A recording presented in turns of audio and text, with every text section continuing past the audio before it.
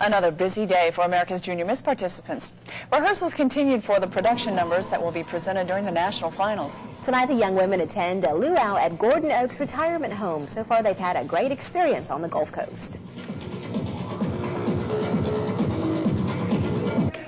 It's been a blast. We've had so much fun together, and all the girls are such great friends. It's it's a lot different than other systems I've been in, and everybody's just nice to everybody instead of being really we've been able to do a lot of rehearsals, which is a lot of hard work, but a lot of fun because everybody's working together and it's a lot of great times. Um, we've also gone and seen the USS Alabama battleship, which is great. We and we sang karaoke. You can see the young ladies perform on stage by attending the preliminaries June 26th and 27th. And be sure to catch the finals live on Fox 10 on Saturday, June 29th. As we've been telling you all week, America's Junior Misses are in town preparing for the big event. But what you may not know is all the behind-the-scenes work that goes into the show. Fox 10's Krista Marino takes a look at the folks who stay out of the spotlight but play a big role in making these girls shine. They're fastening the steps, raising the lights, and checking the prints. This is basically like building a house. Meet the 1996 stage crew, a group of men and women dedicated to making this theater come alive for the 50 girls taking part in the America's Junior Miss program. The stagehands are the reason that the set and the show are successful. If it were not for them and what they do and the effort and the talent of people like uh, Bob Sheffield and Bill Teague, and uh, it just the, it wouldn't just come off and happen.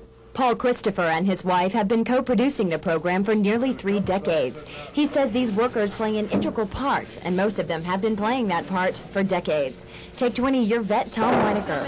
Every year we, we try to start thinking who the winner is going to be and maybe place some bets on that, you know, and sometimes we're close and sometimes we're a mile off. Safety factor. Always safety. Leroy Moody has more than 30 years under his work belt. You can be sure he knows the ins and outs of this stage. Well, all us big ones get up there and stomp them down. If it don't fall, that's good.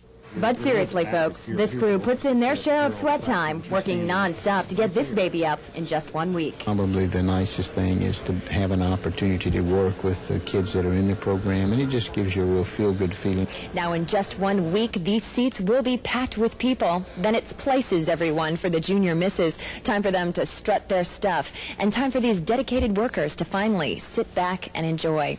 Krista Marino, Fox 10 Action News.